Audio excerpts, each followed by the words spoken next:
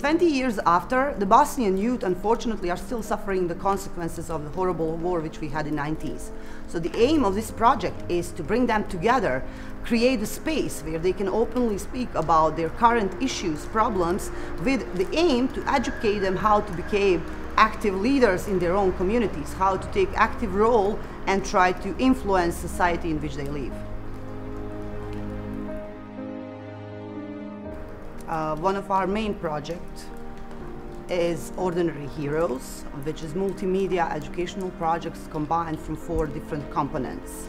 We have massive uh, outside exhibition combined from the portraits of people who stood up against evil during, during the genocide or conflict from Holocaust, Cambodia, Rwanda, Bosnia, from all different ethnic groups. Uh, the second portion of this project is actually multimedia workshop which we do with the young people of Bosnia where we are trying to teach them about the basic categories uh, like moral courage, rescues behavior, bystandership, uh, active role in society. And the, the third portion of this project are multimedia films which we created with the aim to promote the story of moral courage.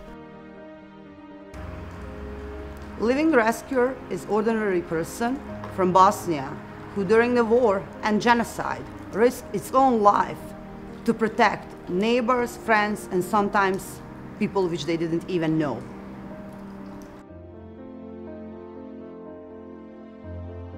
Future without Ordinary Heroes Project is not possible. I think that we all have a moral responsibility to spread these stories of pure heroism and moral courage